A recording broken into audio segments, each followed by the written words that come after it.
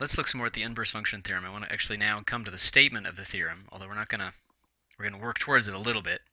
Uh, so we have u in Rn is open, and we have f from u. Now usually we'd be considering Rm here, but we know that there's no chance, and I'll talk about this a little more specifically later, there's no chance that this is going to be invertible unless the uh, domain dimension and the, and the codomain dimension are equal. And we definitely are going to assume it's in, it's differentiable. This is definitely a theorem about what do derivatives tell you about inverting a function. And we're, we're going to see is it has to be continuously differentiable.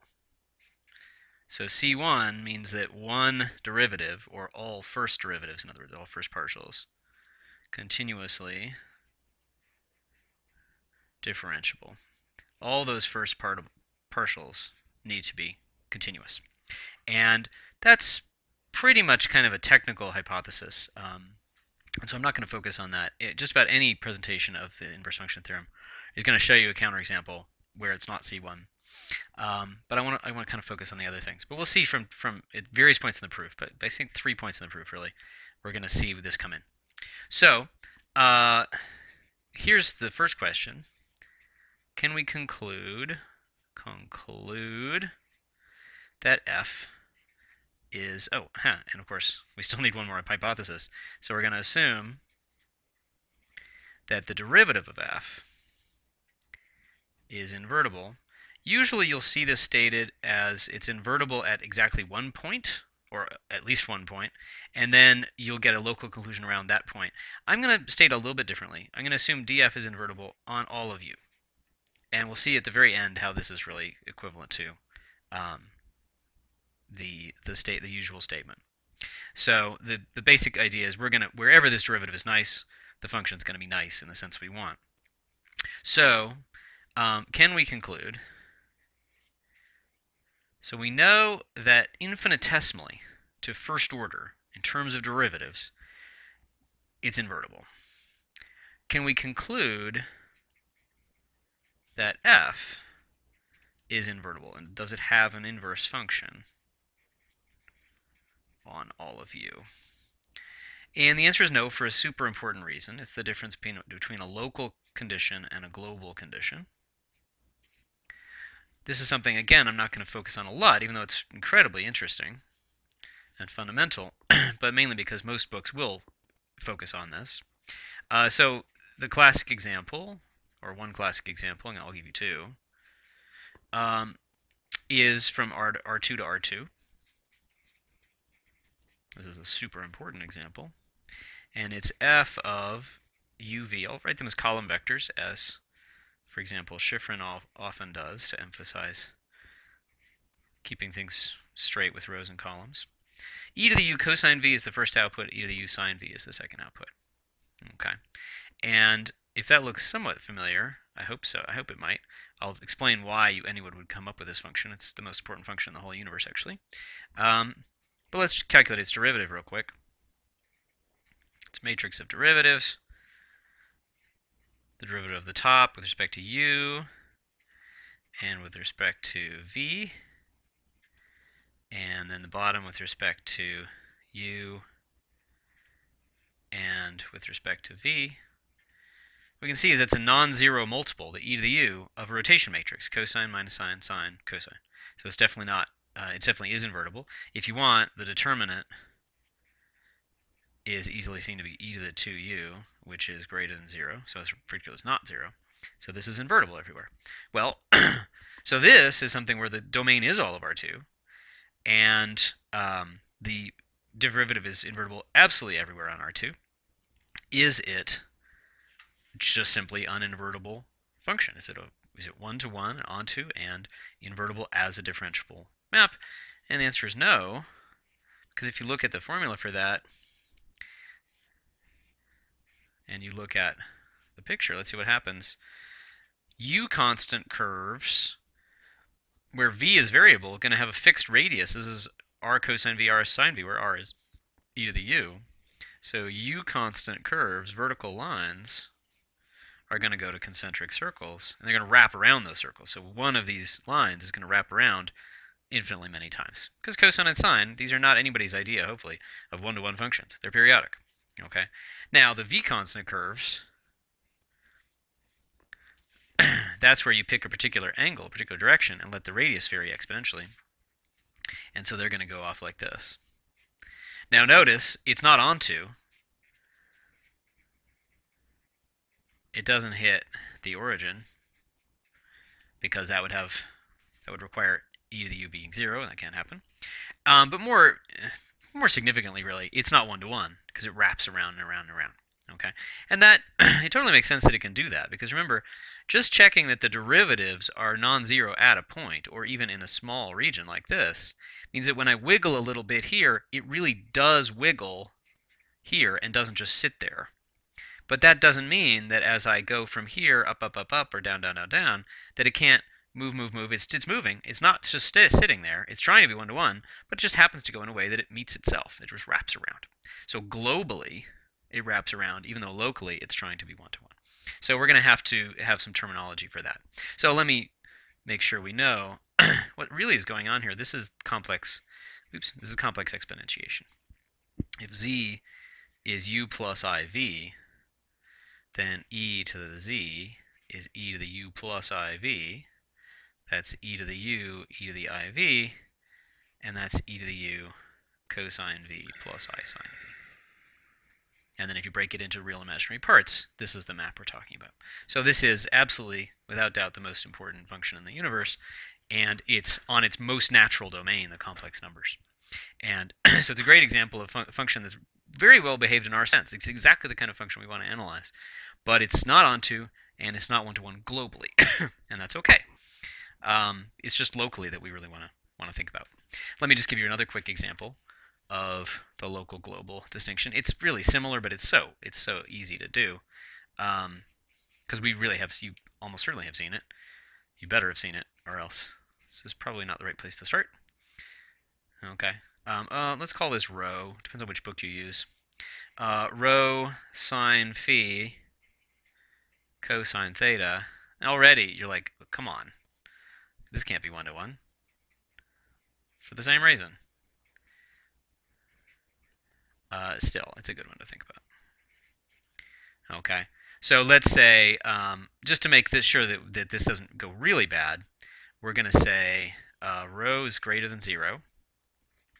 And let's avoid 0 and pi for phi, but have theta be anything. And this is, of course, the spherical coordinates we have rho phi theta space, and we have, you know, like a grid in there. What does that correspond to? It corresponds to the spherical coordinate grid. So like longitude and latitude. If we did allow phi to be 0 and pi, that's where the longitude curves all come in and touch each other. That is bad. That's something, if we analyze the derivative of this guy, it would actually, it would actually be singular there. Um, so if we avoid that, we, we avoid the places where the derivative is not good. But we still have this idea that if you vary theta, you can wrap around, around, around, around, around. Okay, so it's this very typical thing that you don't want to, like if you're integrating in spherical coordinates, you never go theta all, all of r because then it's just multiple counting everything. Or it's very rare that you do that. Okay, so we want to make sure that we're not trying to prove too much. And so the conclusion of the uh, inverse function theorem I'll state the conclusion and and then I'll give you the, the meaning of the, of the words that I, I state in it. Um, so if f from this open set U to Rn is C1 and df is invertible on U, then f is a local C1 diffeomorphism on U. So I want to define that informally. It just means invertible with inverse being C1, but locally, not globally invertible. Okay, so we just have to um, we're already been forced into thinking about that issue just by looking at these examples and how they might be weird. So let's just write down a few definitions. This is, going to be a presentation of the IFT that's a little heavy on definitions, mainly because not because I want to alert it with unnecessary definitions, but just because a lot of these ideas come out naturally in the proof, and I don't think they should just be thrown away. They're actually all good definitions um, and concepts. Okay, so um, a few definitions. So the global definition, this is the too strong. So we, we kind of want a Goldilocks thing here. Uh, the too strong version is that f, let's say, again, u to rn, is a homeomorphism. This is a super important concept. This means invertible topological map, just on level of topology, not derivatives. And so specifically it means that its image has to be open if it's coming from an open set, as we're always doing, in, base, partly for convenience um, in this situation.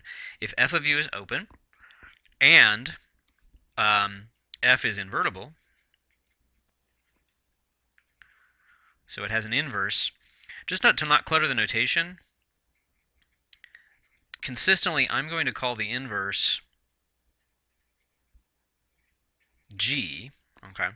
So that's going to go from back from f of u to u, uh, and g is continuous. I'll just cont, meaning continuous, okay?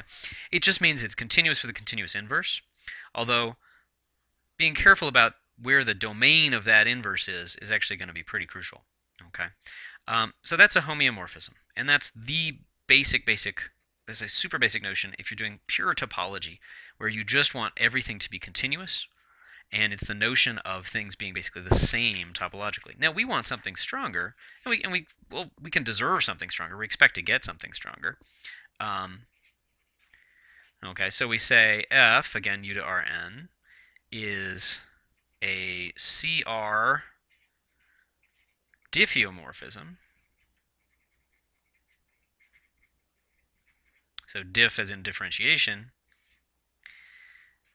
If, uh, again, let's see, f of u is open, its image is open, and its inverse, it's invertible, and g is O. So first of all, it has to be CR. Okay, so that could be C1, C2, C3. Its first derivatives are continuous. All its first and second derivatives are continuous. First, second, second, and third derivatives are continuous. And R equals infinity is included, which is an abbreviation for its CR for all finite R. That all the derivatives exist of all orders and are continuous. That's a nice situation. Okay, we're going to focus mainly on C1 um, because CR isn't really very different. It's easy to get take what we're, we're proving and just replace the 1 with an r with just a tiny bit more work. Okay, But I might as well state it for r. So it's it just means a differentiable enough for your purposes diffeomorphism. If it's differentiable enough, and the image is open, uh, f is invertible, and g is the same kind of good map coming back, the inverse. Okay. Now, part of the point was that those are too strong for us. Okay. So let me wrap up this video. I don't want to make it too long by just um, making the local versions. Okay, so f u to rn is a local, a local, let me emphasize local, local homeomorphism if, well, for every, it's the usual say way you make something local. If for every x in u, there is a neighborhood, oops, that doesn't start with a B, neighborhood V uh, in, sitting inside U of X, okay, so it's X is an element of V, okay, such that basically all that stuff works on V, such that F, I'll use a nice little notation, little vertical bar subscript V, that means F restricted to V, if you've never seen that. it means just consider F as a map from V, new domain, okay, is a homeomorphism. So in other words, f restricted to v has an inverse. So that's, this is the key thing. f, when you restrict the domain, so you can take a function that wasn't one-to-one -one and make it one-to-one. -one. So for example, here, easy thing to do, just take theta and restrict it to 0 to 2 pi. Okay? And I want to get that out of there.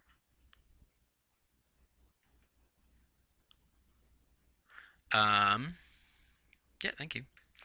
Okay. And then, of course, we're interested in something a little stronger. Okay, F is a local CR diffeomorphism.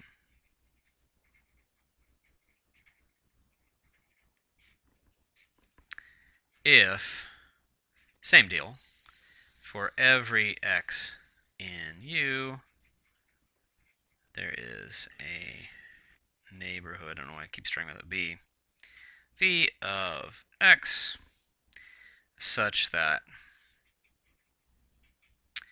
f restricted to v is a CR diffeo. Okay.